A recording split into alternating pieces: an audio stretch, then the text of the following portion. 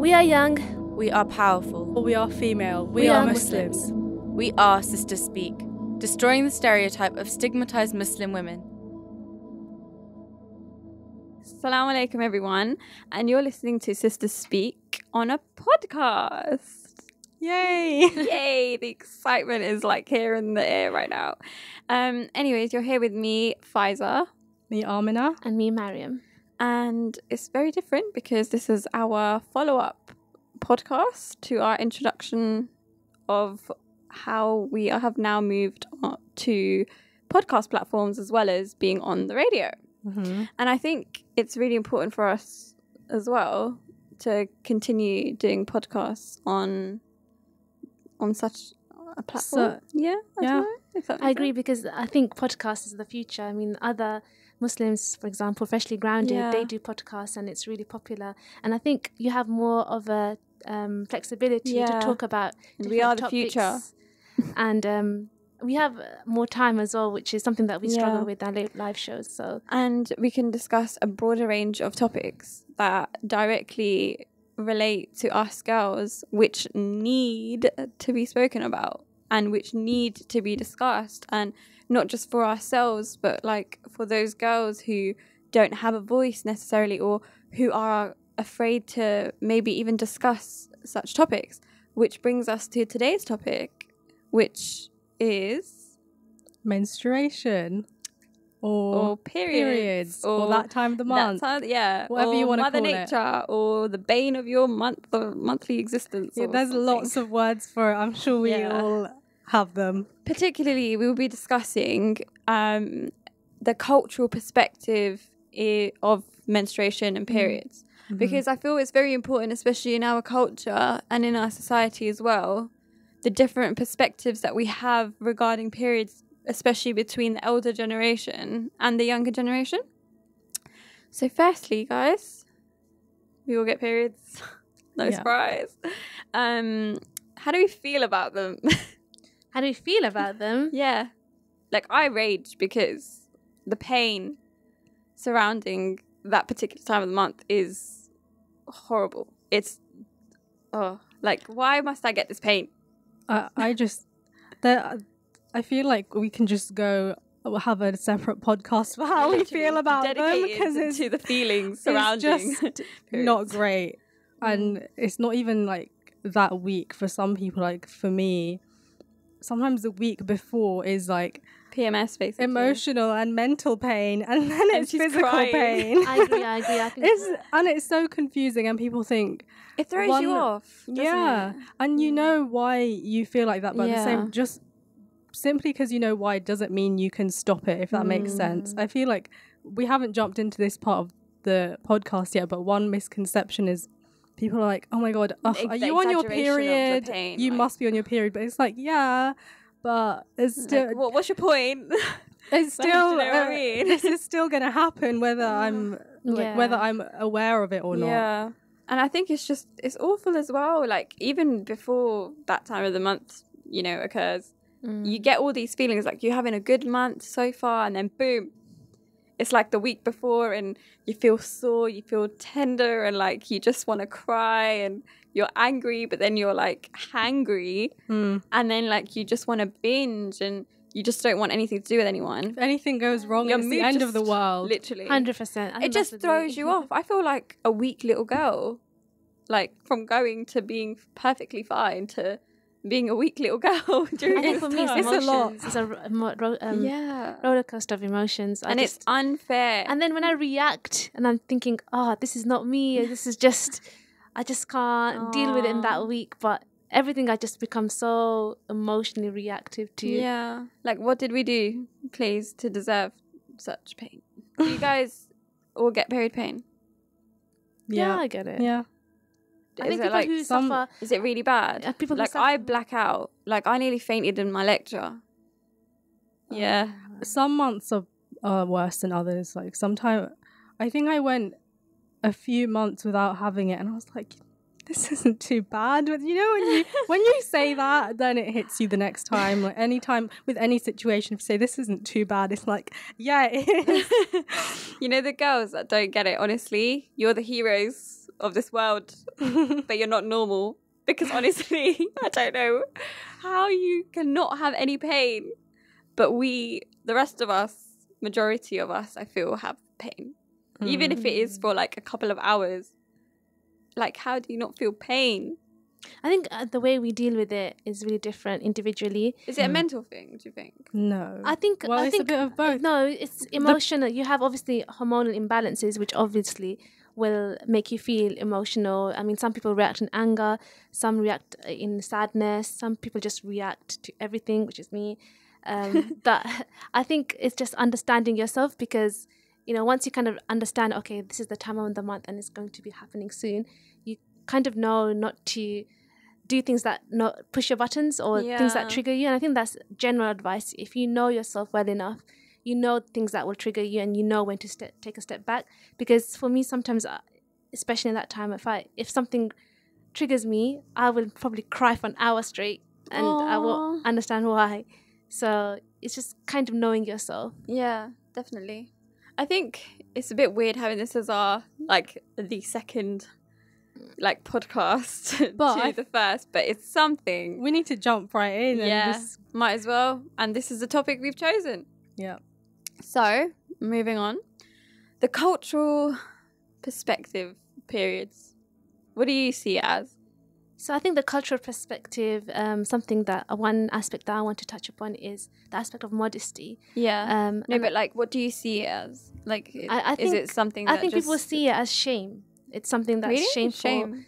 Yeah, so something's in shameful, and then Definitely we see that, taboo. I think Mm. yeah, it's taboo and it's shameful, and I think that manifests especially in Ramadan, which we'll be discussing Yeah. further on in the podcast. Yeah. But uh, what do you see as?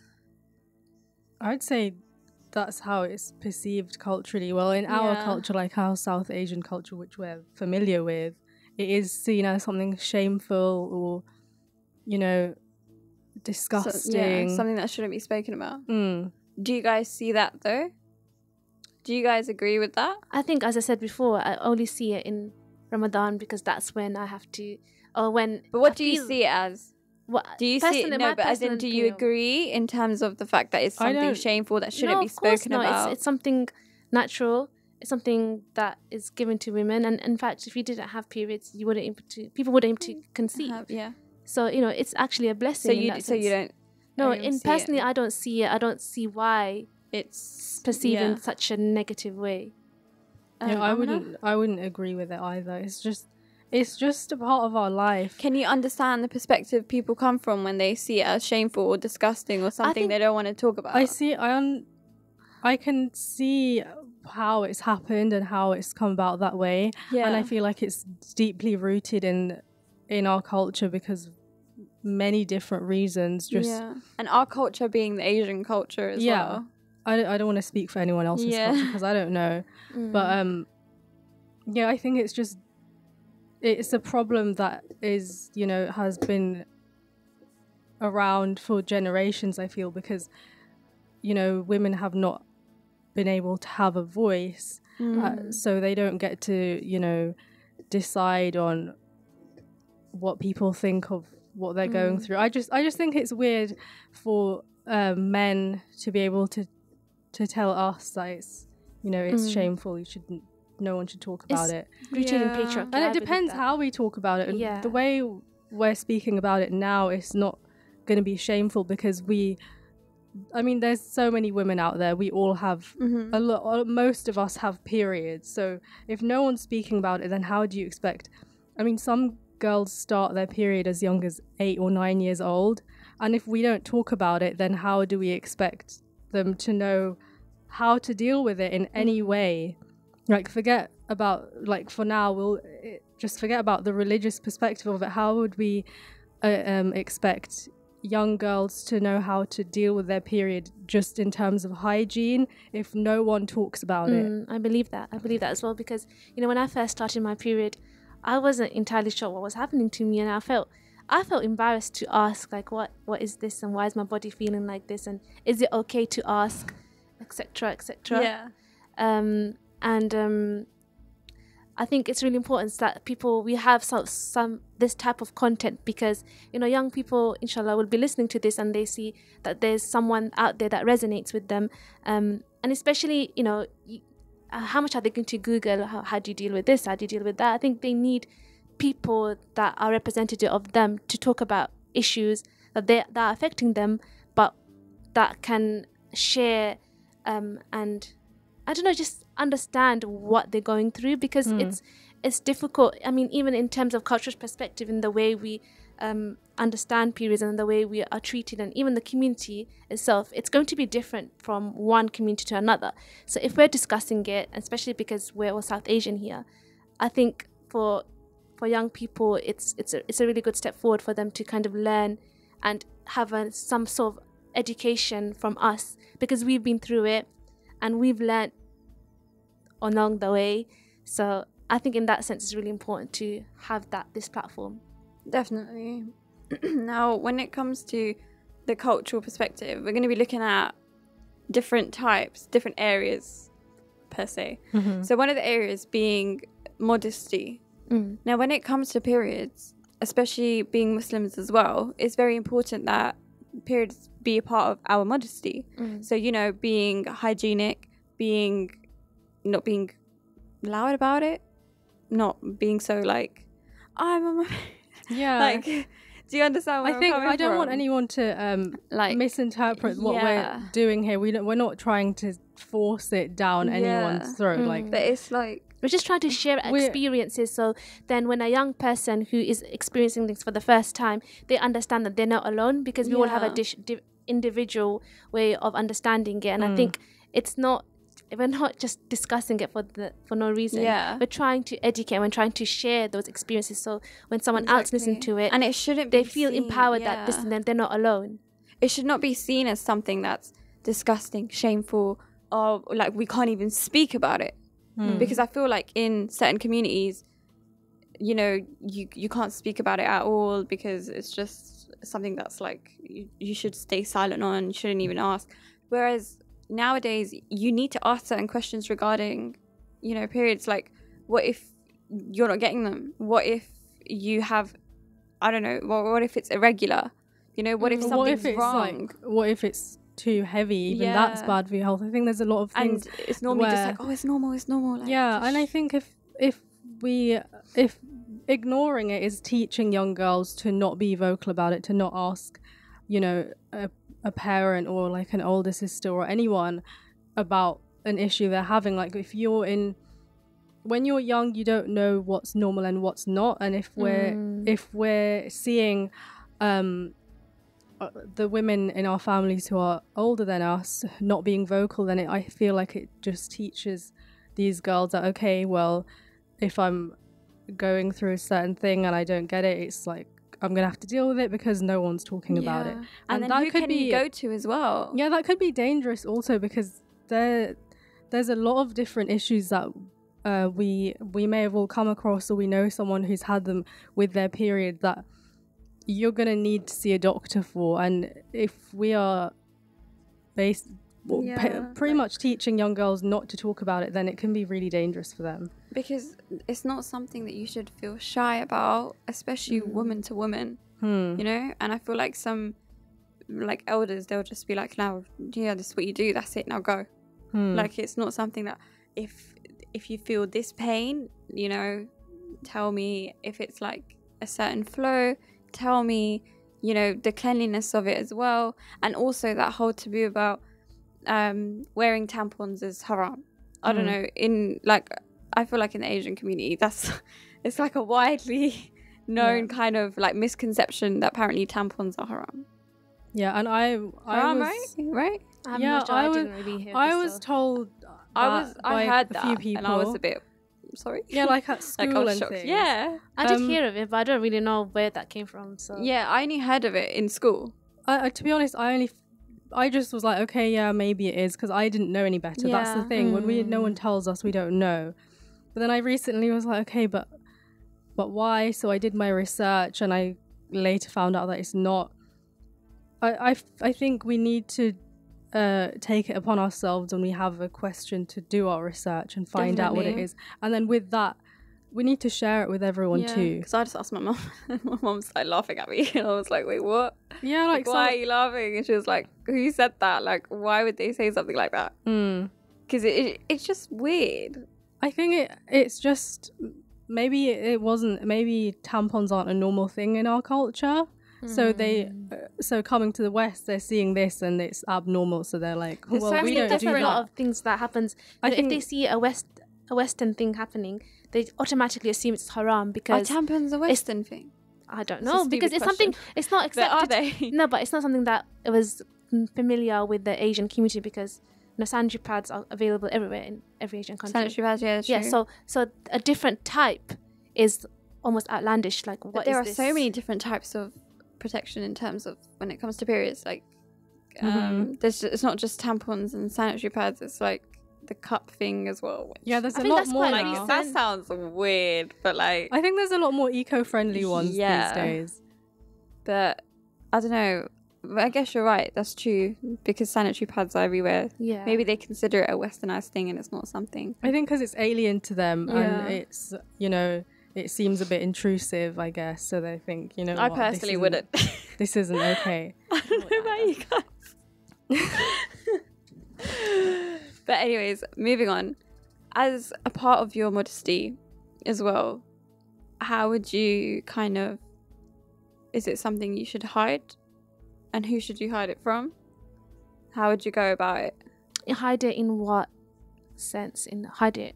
What do you mean? So for example, Ramadan time. Do you hide it? Do you hide the fact that you're on your period or is it something that oh you can just go into the kitchen and eat something and I think It's all I don't know. It's a bit like for like before, long long time ago, it would be like hiding it, but now it's just like I don't wake up for sehri. I'm not gonna pretend to wake up for sehri. I'm just gonna eat. yeah. You know, I think when you're young, Yeah, um, it's like because I think for a lot of young girls, they for some of them they, they feel embarrassed. yeah they feel embarrassed because they don't want anyone in the family to be like, oh my god, she's different now, haha, Yeah. you know. But um, if it's if it's because you're you know you're a young girl and you're just shy, you don't want anyone to know, then I guess that makes sense. But um, hiding it in the sense that you're gonna pretend to fast when you actually are not meant to be fasting is is not okay. If you I understand now, like I used to be like, oh well, you can just eat in front of anyone, but at the same time, everyone has their own kind of Mm. scale of like shame Ha- and yeah, yeah. I mean, we're not we're not gonna scream off the rooftops that we're on our period, and we're not gonna be like, you know, uh, yeah, I'm having a three course meal, and like some people's Yeah. family don't want to be not just it's not like they care that you're on your period. I think some people don't like seeing someone eating when they're fasting. Yeah. No, fair So if enough. that's Don't shove sense- it in someone's face. But- Yeah, then again, But don't What- suffer. The point is Yeah, don't, yeah, don't don't, suffer. suffer. Which I feel like a lot of people do, especially if they're in mm. households with like elder people, or maybe they're living with a husband and in-laws and stuff. Who expect They- you to hide it Yeah, that expectation that you you should hide it, you you shouldn't eat at all, and pretend that and pretend that you are, which is ridiculous. Because honestly, especially when you're in so much pain, you need to be drinking water. You need to be hydrating yourself. you actually you do get need to food eat. in you. Yeah, that that's the point because you know when you're on your period, Like you're weak. your your You're f- like the body burns much Yeah. time, uh, double the amount when you're Mm. not and also um you know it's actually i would say i don't know what you guys think but i think it's immodest for a man to ask you why you're eating or, or if anyone you're fasting. if you're Mm. fasting and if someone asks you are you fasting or even if uh, um, to another man and they might be sick it's just it's not a nice thing to do it's, Yeah, it's that's kind true. it's etiquette you don't ask someone if you see someone eating it could be because they because they're ill Don't assume that Don't- oh they're a bad Muslim and they're not fasting. Yeah, it could be Like, because they're it's ill. You're so- Ridiculous. It's it's not it's not nothing to do with you it's not your it's not Yeah. your business And I've experienced that. Like, uh, there's some people in my family who can't fast, and like, they're not women, and even for them, it's hard because it. I, f- I feel just generally shame, everyone p- uh, if you're seen outdoors like in this like the last few ramadans we've had like the last few years have been in the summer like they're gonna have to go out with a water bottle otherwise Yeah, of he's not gonna be okay and also he needs people- to eat because some food is medicine for some people Exactly. Like some people are diabetic and they need to eat. food. Exactly. So that's like that's I, I think that's just a general thing that we need to change when we see someone eating it in Ramadan. We shouldn't should think the best Yeah. of, you know, you're meant to give 70 excuses to your brother. Yeah, you're not meant to think, oh my God, okay, this person and they doesn't want to fast. Like the girls who do hide it, please don't hide it. Like you need to eat. You you know you Mm. need to hydrate yourself, and you need to remain healthy. Especially, like I know the pain it must be awful. So come on, like we understand that you're not fasting, but don't suffer just because you know everyone else like is fasting, and you know you can eat on. Would you com- recommend eating like secretly? I think it's well, if that's what you're comfortable with, yeah. but don't don't feel extra pressure. If you're okay with and you don't feel like you're suffering or you, you, you you're waiting a long period of time because um you know there's men in your house and you can't eat. No, don't starve yourself.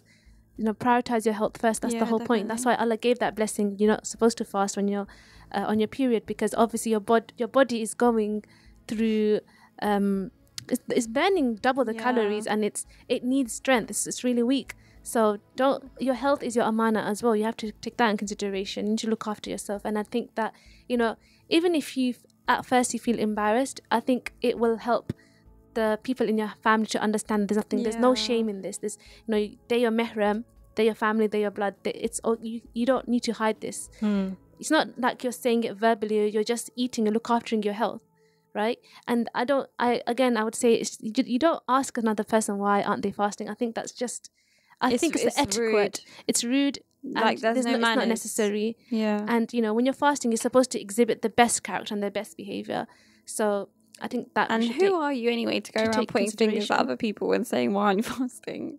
Hmm. It's ridiculous. Come on. Um. actually when i was in university something happened like that i was just Oh. like Well, I thought you were gonna say No, that someone- I'm pointing a finger at someone. no so, said, no "Why aren't you someone How dare you? no Like, someone asked me someone asked me and i was just like i'm sick that's it Yeah.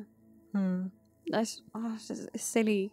Like, it's awkward and uncomfortable. I think we've well. all experienced that, and that just shows that it's a problem that we've all had more than one experience where someone like, made us uncomfortable about not fasting. or even praying. Hmm. Like, why aren't you praying? And it's like, you know, come on. You just carry on praying and leave me to it. Yeah. uh, um, what about in terms of education then?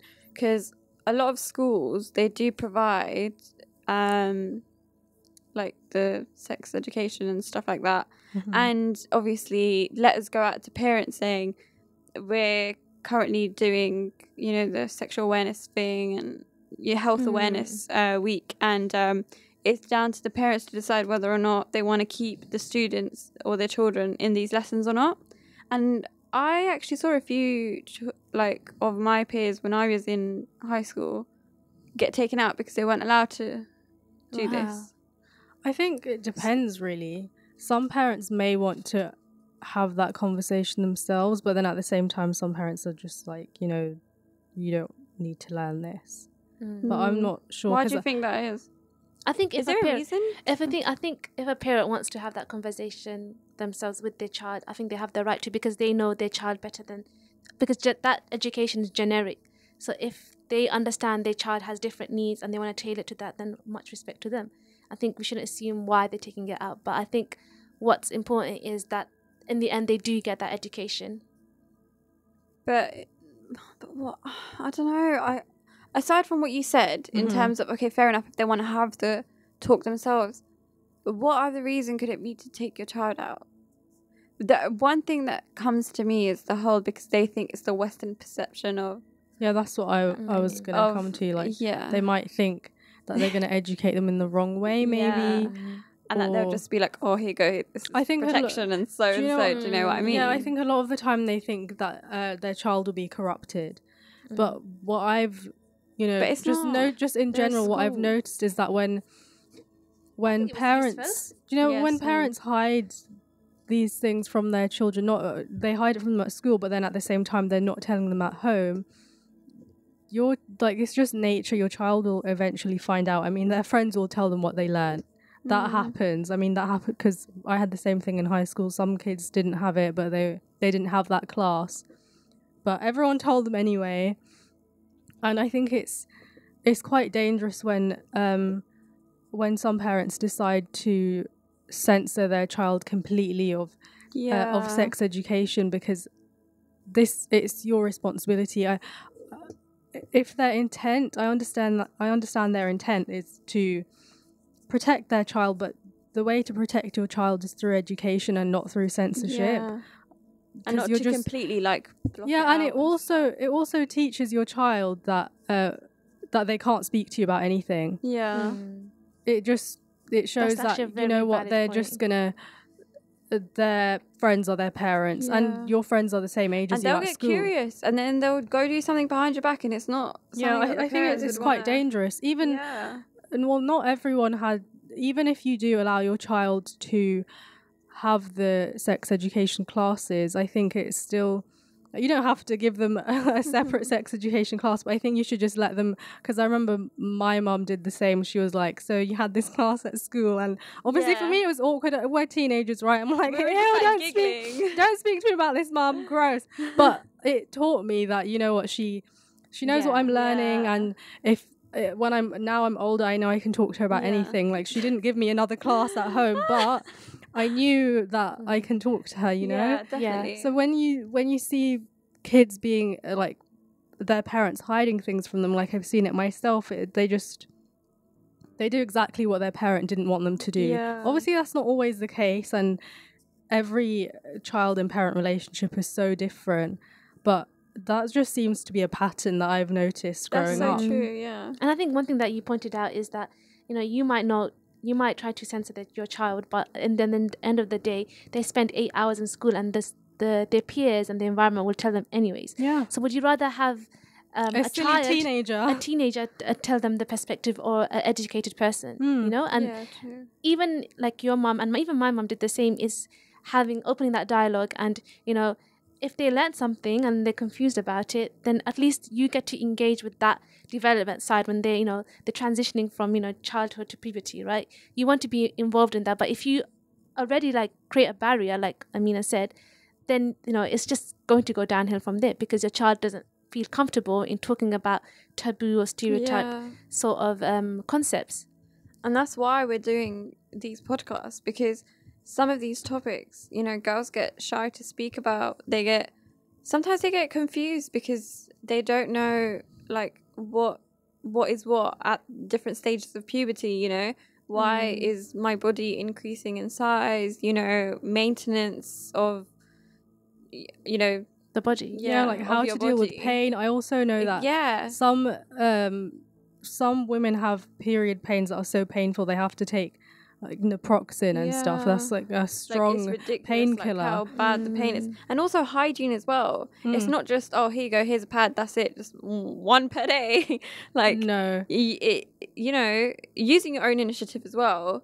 But like I know, like some people might not even want to even speak about it. They're just like, oh here you go, like this is, you know, here's the sanitary towels and stuff. Like Figure it like, out. Yeah, figure it out. Like you need to teach them. Like it's about learning, like even putting on the basic stuff, putting on, Mm. even disposing of it, Mm. especially in public um, areas as well. Definitely, because I've God seen in some toilets that it's it's just disgusting. disgusting, Mm. like disgusting, and it's like really like it's a simple thing. And also, when you're that young, because uh, when I was in high school, I knew some girls who who had to figure it out themselves, and they were like, "Oh, I did it this way," and I and then, and then I was like, "Well, that's not how to put it on," and they had some trouble with it. And if you're not taught that at home, Yeah, obviously you can talk to your friends, and of some of them may but then teach some you. of But them are scared that they might just get like laughed yeah, and then you can have a bad experience. Like if you don't put one on properly, then you know next you might have you might soil your clothes at school, and that's just you know, that's embarrassing on so many levels. And also, one thing that's not spoken about as well is discharge. hmm. Like, I'm sorry, this is, I I know it seems very raw, as in we're talking about it, but come on, like we're girls, and like this is like it's something we all go through, Hmm. and it's something that's not spoken about as well, like cleanliness and you know why are you having these things and Yeah, some like girls may not know what it is, and they'll think, "Well, this is why am I so gross?" Because that's what it seems like if you don't know what it but is. honestly, girls, It's your body actually yeah. scientifically it's Cleaning your body itself. cleaning itself. So So you know we're all girls and we all get it, and it's nothing to be ashamed of, and yeah. I think it's important to remember that you know it's it's okay to ask. Hmm. It's okay to ask someone. you know there are nurses available as well even the nhs like they they even would talk to you about sex education and especially in terms of periods as well Mm.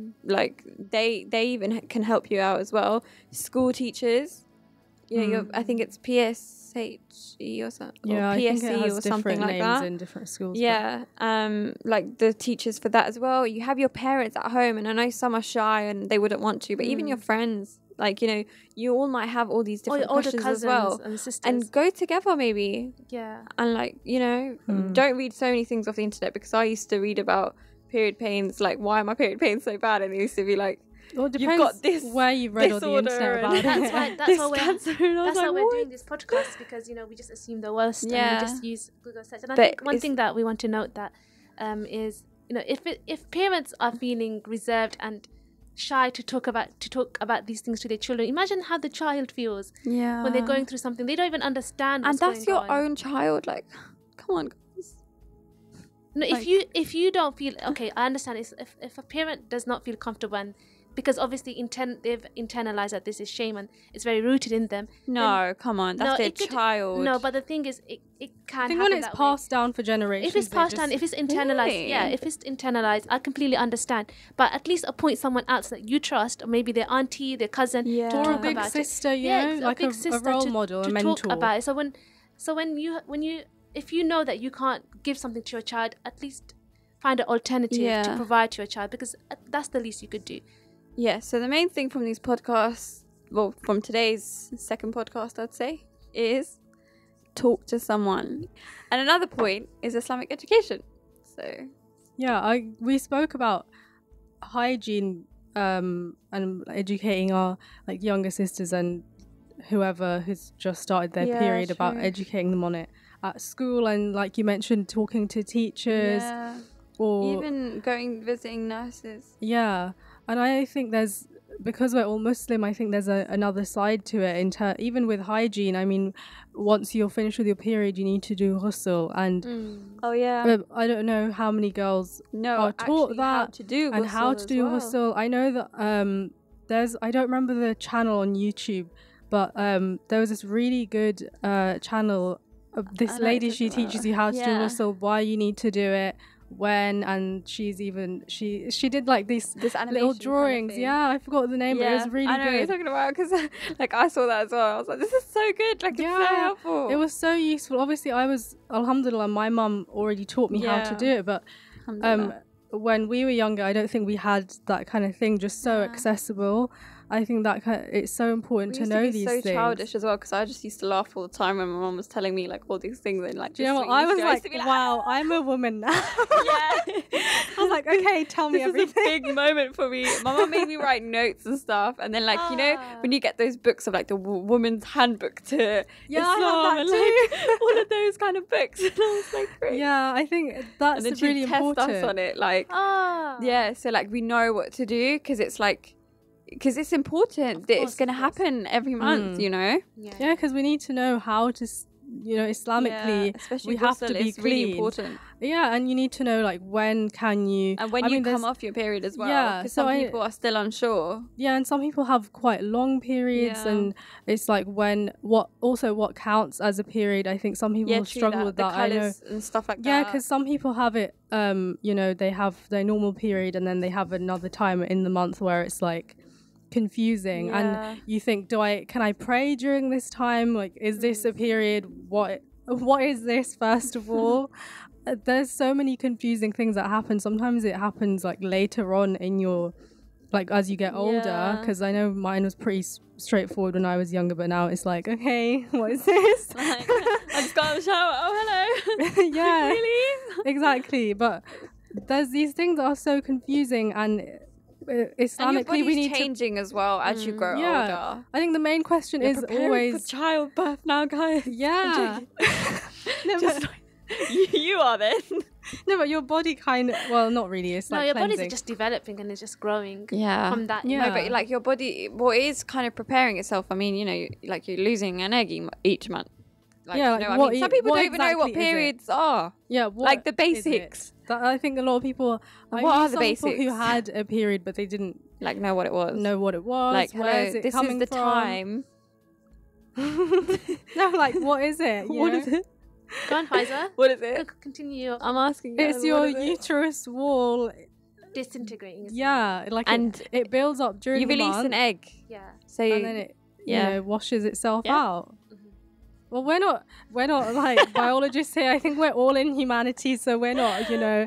But uh, we do have Yeah. experience Basic in this. understanding. yes, of course. But yeah, I wanted I wanted to finish on the Islamic point of view, it's which very is important. yeah, just you need. I think we should have this open conversation. Definitely. You know, I think the main question is when you're that young is like, okay, so can I pray now or what? Can I Like, fast? what can I do? or what can I- what do I need to do? I I think that's just we need to open the door for that because some girls may not even know that, and uh, obviously when you do start your period, you it's hard for you to Yeah. start praying, and that's it's a confusing time. You start putting pressure on yourself, and you're like, oh my god, well, have I missed a whole day of prayers or not? You know, it can be a bit. It can be stressful, definitely. yeah, but it shouldn't be. Yeah. It shouldn't be stressful at all if you know what's going yeah. on. Yeah don't ever feel ashamed that you know you're on your period or that you have a period or like you know you can't speak to anyone about it. It's nothing to be shameful. Shameful? It's nothing to Ashamed be. of. Yeah. Can't There speak you go. English today, unfortunately.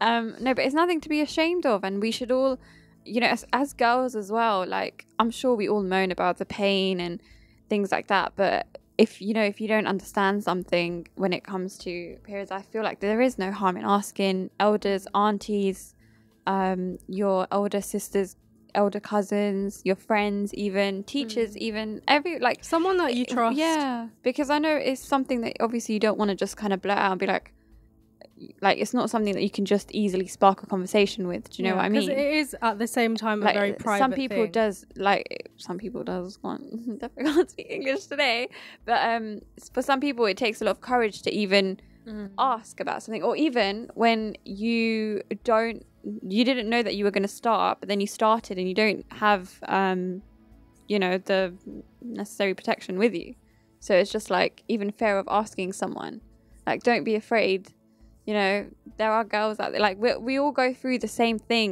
Hmm. you I think, uh, and I think, you know, a young lot of young girls, they might because I think as you grow older, you kind of sense it. Oh, this is this is gonna happen. but for them, they don't. time. Yeah, they don't. They don't understand that. But you know, if you are in public and you and you, and you think you're going and Mm. you you see that happening, believe me, every girl understands, and they will Yeah. hundred percent. If they have one, they'll rip it out and give it to you. like this is your womanhood They'll, You they'll are a share, woman. They'll give you a sanitary pad. I'm just saying it blatantly. They will give you a sanitary pad if you ask another girl because they understand. They're like they'll even ask you, "Are you okay? Do you need anything?" Because like that's, they just know they it's just know. standard It's it's you know? completely fine for you to ask. it's like ask. a woman's like kind of like Yeah, circle you kind of thing like anyone. do you know what I mean any girl yeah yeah. like we all like we all go through some sort of pain or those unicorns who don't apparently um but you know but like you know this is your womanhood okay don't be ashamed of it it's something that's gonna like you know you're gonna get children from it i think Thank yeah. you, yeah, Faiza. reward as well from